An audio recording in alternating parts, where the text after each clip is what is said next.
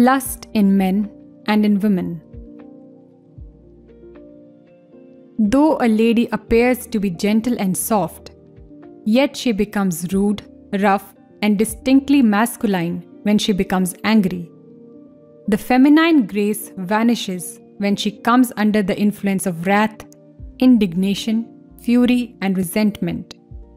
Have you ever seen women fighting in the streets? Women are more jealous than men.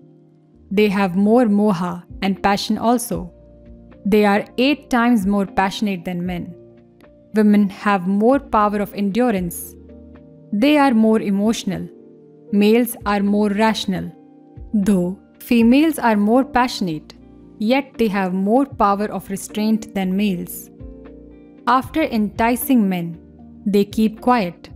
The real culprit is man only. He is aggressive. It is he who tastes the forbidden fruit first. He is active. He goes out of control and loses his intellect, power of understanding, and judgment when he is under the grip of passion and becomes the sporting lapdog of a woman. When once man falls into the trap, or net spread out by woman, there is no escape for him. Woman is passive. She only tempts and deludes man. She inflames and excites the heart of a man. She smiles and glances and then keeps quiet. She waits. But man is the aggressor. He is the real culprit. Man is the worst culprit. He is the real seducer. He is the aggressor. He is the violator. All women would have become miras, Madalasas, and Sulabhas had it not been for this vilest nature of man. He must be corrected and molded first. He has not got so much self restraint as women have. Women are eight times more passionate than men, but possess eight times more strength of control over the sexual impulses or the sexual urge. This is the weakness of man, though he may be physically and intellectually more powerful than a woman. Women flatter, coax, and cajole you. They are experts in the art of blandishment. They have made you a slave by their winning expressions, actions, youthful charm, coquettish glances, gestures, and smile a considerable portion of your life has been wasted pursuing the phantoms of flesh. Women appear charming only for a short time, but turn destructive of health and happiness soon after.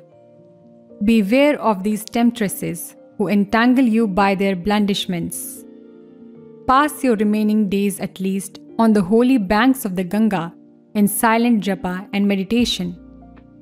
The scorpion has the venom in its tail, the cobra in its fangs, the mosquito in its saliva, and the scandalmonger in his tongue. Woman has poisoned arrows in her eyes. She sends the message of passion to the lustful youth and pierces their heart through the poisoned arrows that dart from her piercing glances. But she cannot do any harm to a Viveki who is always on the alert and who sees the doshas of a woman and who knows the Sat Chit Ananda, pure nature of Atman. There are tongues and telegraphic instruments in the eyes of young passionate ladies. They send their love shafts and love messages through their smiling glances to passionate young men and thereby allure and bewitch them. Those young men who have no discrimination are excited by these love messages and become a prey to lust. They become pleasure deer or sporting lap dogs of ladies, though they possess academic education and hold high position and title. What a shame! Reason, will, intellect vanish altogether. O aspirants, do not be very familiar with any woman. You should not sacrifice a noble ideal of life for the sake of pleasing a bewitching woman. Think of the composition of the body. Keep the mental image of the dead body of a woman or a skeleton whenever passion troubles you. You will slowly gain strength to subdue the passion. Vairagya will slowly dawn.